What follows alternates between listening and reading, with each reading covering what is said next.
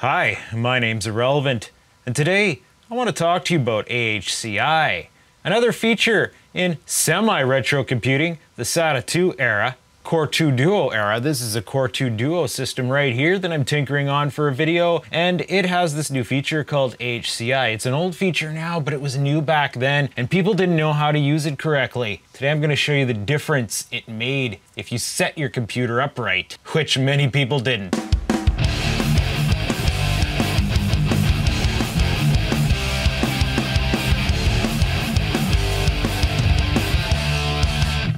Now, before I get into the build, I just want to boot around BIOS here a little bit real quick to show you a little, little something, something that was uh, new to the game back then that screwed up a lot of people, causing them to build their computers wrong.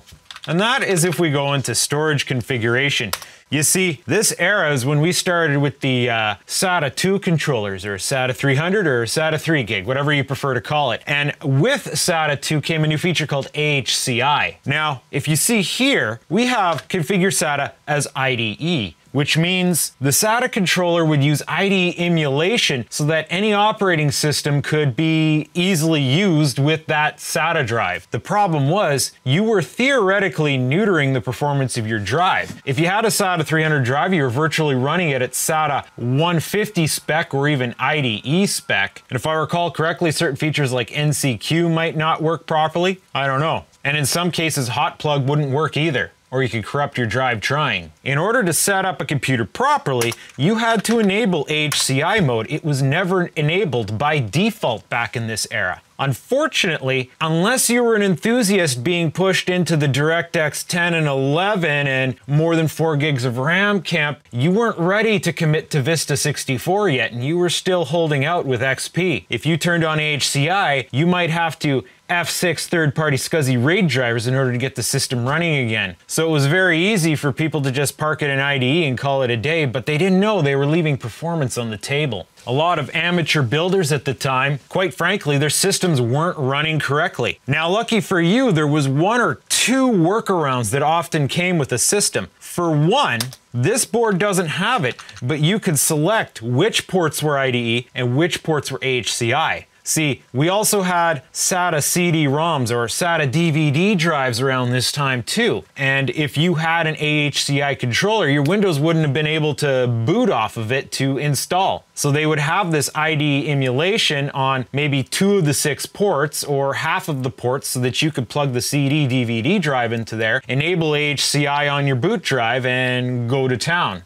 What this meant was if you did accidentally install with IDE enabled, you could move it over to the IDE ports, enable AHCI on the new ports. Once you booted to Windows, you could upgrade the drivers, and then Windows would be able to boot off of them. If I turn on AHCI right now, Windows is probably not going to boot or it might now because I've updated all the drivers. But the other thing that uh, would have came on motherboards this time is it wasn't uncommon to have a whole secondary SATA controller, and this one's no exception. Seen right here are two extra SATA ports that are kind of different from the rest for a board like this to have eight SATA ports, that's that's a lot. Like boards now don't even have that many, but then we're not parking as many spin drives, are we? This was an additional silicon image controller, and it was it was super weird. But in this exercise, we should be able to move our hard drive over to that port. And then assuming we installed the drivers correctly when we set up Windows, it should boot off of it. Oh, it's trying to. Is it gonna go? It's jammed up, but this is kind of normal for what I'm doing here. Windows is a little bit confused and it could take a moment for it to, see, figure out what's going on with the hard drive change. And there it is. And if we do a little Explorer to Device Manager, Serial ATA Storage Controller, uh, it's funny because it's not actually showing up in here. Actually, that might be it there. Yeah, I don't recognize that, but I I'm guessing that's it. So now we can go ahead and restart. Now we can update our storage configuration to AHCI.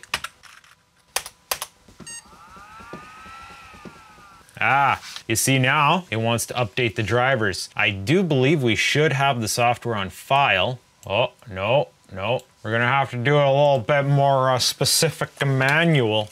Tuh, DVD drive, oh yeah. Ah, as if device manager's not just there. You are a strange one, Mr. Grinch.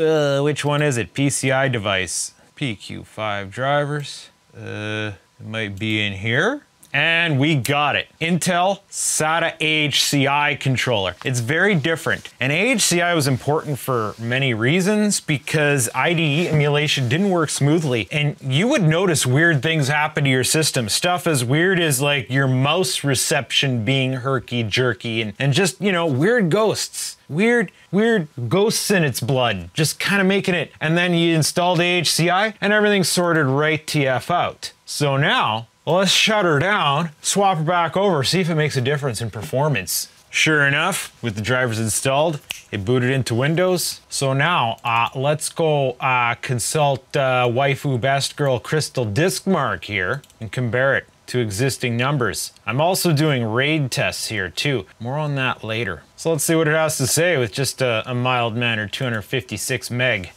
Oh, that doesn't make a lick of sense. Run the test again. You know, I just had a herpy derpy moment. The drive I'm trying to benchmark here is only SATA 150. I'm not going to see a difference in performance. Wow, that kind of destructs the whole purpose of this demonstration. I need to score a proper SATA 2 drive. Okay, I know what to do. All right, so we have uh, Best Girl Waifu uh, CrystalDiskMark here. Uh, I have connected as a secondary drive, freshly formatted, a Western Digital Velociraptor 150 because it has SATA 2. Silly me, I tried running this test on the, the boot drive. It's only SATA 1, so I saw no difference. We're gonna try it in IDE mode and see uh, what kind of performance we get out of it. All right, so far, so far we're seeing 12647, 12562. These are the real world settings. I never understand why we get such a slow random read and random writes just don't seem right. 21216, write ops, 49194, read rops. No, I got that backwards. And then our latency is as such.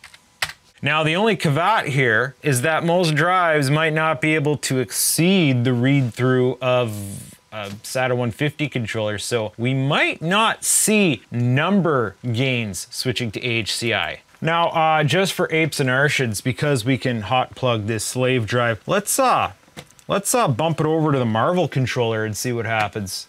Hmm, we crashed the computer apparently. Nice. Windows, you suck. It's not even the boot drive. Why do you care? Because HCI wasn't enabled. That's why it cares.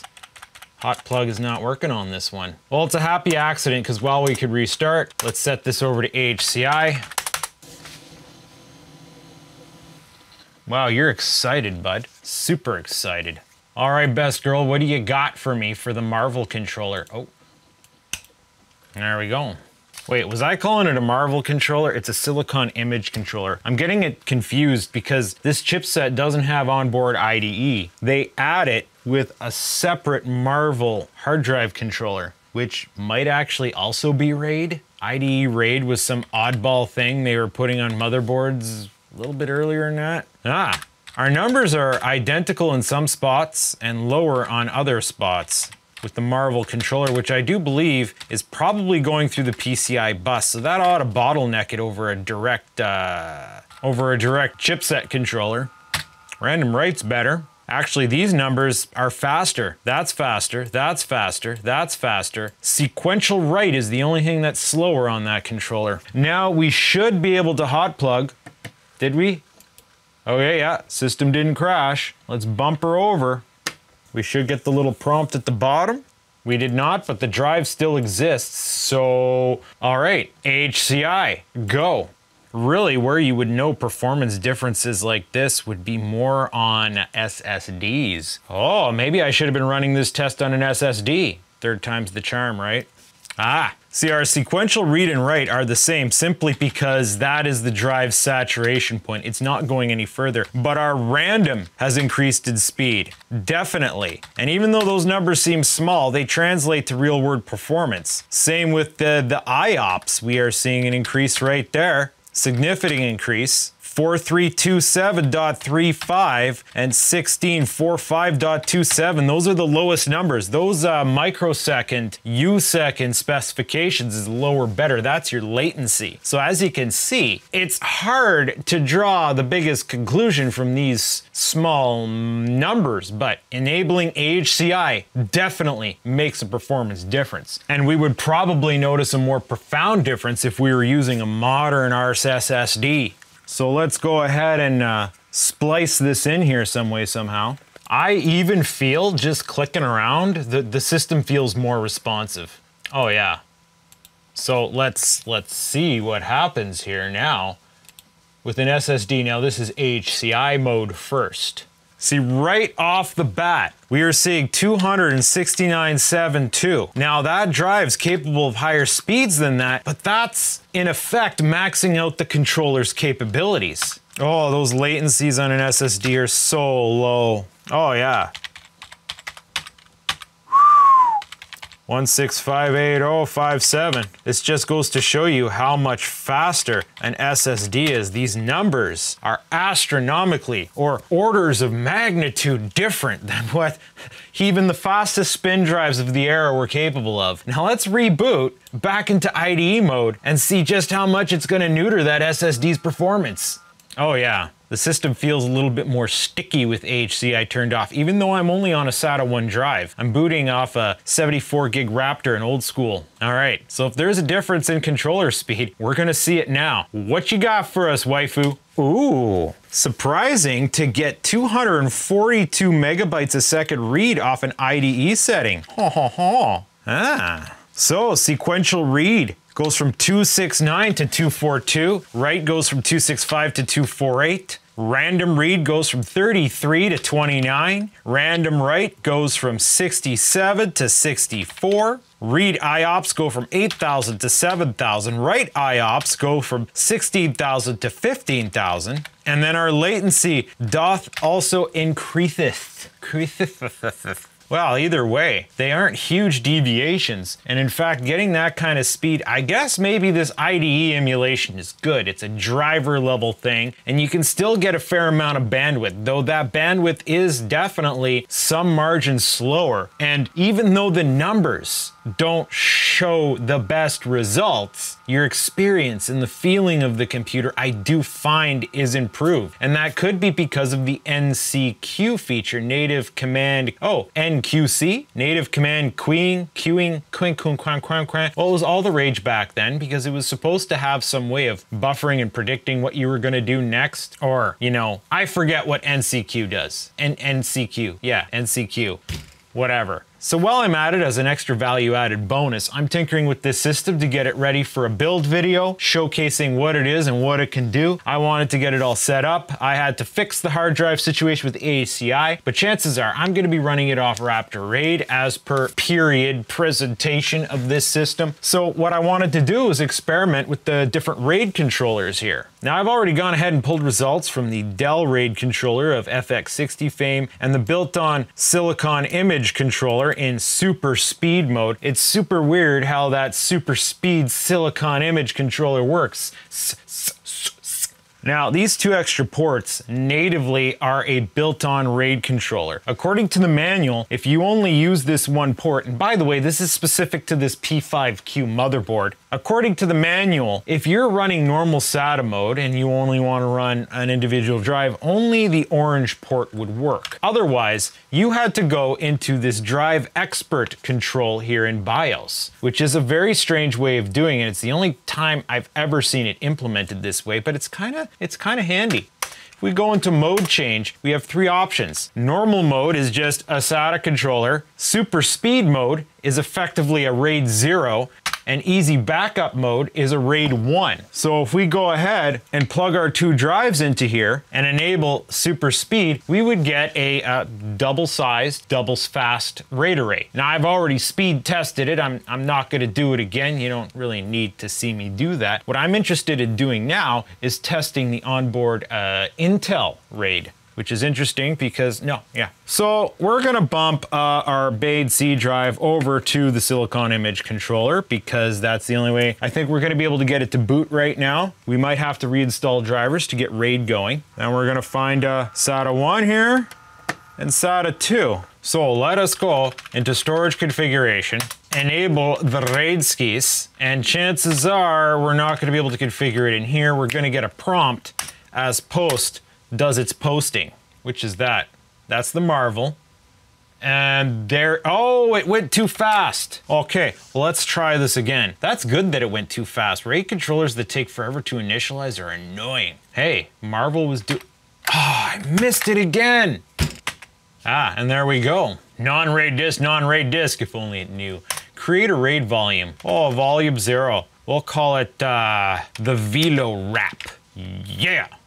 RAID Stripe 0, 128K, typical values. Ah, yes, that's your block size. There are certain advantages and disadvantages to the block size. Word is, bigger block sizes will be higher performance, but will waste more space because you can only put one file on one block. If I say had a file that was 200K, it would use a block and change. If I had a file that was 28K, it would consume a whole 128K block and you might not be able to put another file on there. Something to that effect anyway. Oh, no. Yeah, max and create volume it will be deleted. Yeah, that's fine. there we go. The Velo wrap. Does that mean if we go into uh, boot settings, hard disks, we're gonna get the Velo wrap on here. That's fine. First drive, I want you to boot off our uh, stock one. All right, let's give her. Let's give her go. Oh, look at that. Yes, indeed. We need to install another driver, sir. Aha, now it's the RAID controller. Finish. Found Velo wrap. Chances are we're gonna have to initialize and format again. Oh yeah, there it is, convert disk wizard. Initialize, uh, no convert. Convert to what? Are you getting religious on me, computer? New partition, near, near, near. E, Velo wrap. Ah, I'm surprised they let us put a patron in there. Best girl waifu on the screen. Who's the fastest raid we've seen? Oh boy, this is some interesting information. So finally, Intel RAID, well, it's definitely outperforming the Dell RAID and the Super Speed. At 243 read, 244 write, 101 random read, 338 random write, 245 IOPS, 823 write IOPS, and latency, well, she's down there, bud. Clippy, chilling in there, and it's just... So, look at these numbers. This is what we just pulled. Now let's compare that to one drive on the same controller. Yeah, yeah, look at that. We're seeing read and write speeds equivalent to the SSD, pretty much maxing things out. Definitely, we're getting double sustained. We're getting a small increase in reads, a small increase in writes, but an increase that's gonna matter. Slight increase in I read IOPS, but a significant increase in write IOPS. Latency, slight decrease, but I guess there's not much we can do about that, but yeah, it's beating out out the Marvell Silicon Image controller. It's beating out that Dell controller, and it's giving us numbers we're expecting to see out of a RAID array. So that's winning. When I do my build video for this, I'm gonna be using the Intel RAID. So I guess we're done here. This is a little bit of an explanation of one of the weirdest phenomenons that happened commonly in the mid 2000s when a lot of DIY gamers built their own PCs and just didn't know how to set them up right. And that's the reason why back in those days is when I was able to make my most money repairing and working on computers because people didn't know as much about them and didn't know how to do it properly. Now we have the YouTubes with the big name YouTubers telling everybody how to do the stuff. And we have computers that are so user friendly now, you just slap stuff together and they work. Now any Tom, Dick, and Harry can come out of the woodwork, claim to be a computer builder and build you something you're gonna be happy with, assuming you didn't completely sell them on crap components. Oh well. I guess I'm gonna join those ranks of the YouTubers, hopefully, and show you how to do some of this stuff a little bit right. This is the end of this demonstration. Now I'm gonna clone Windows over to that RAID array, and I'll see ya in the video on the Core 2 Duo, the processor that crushed AMD.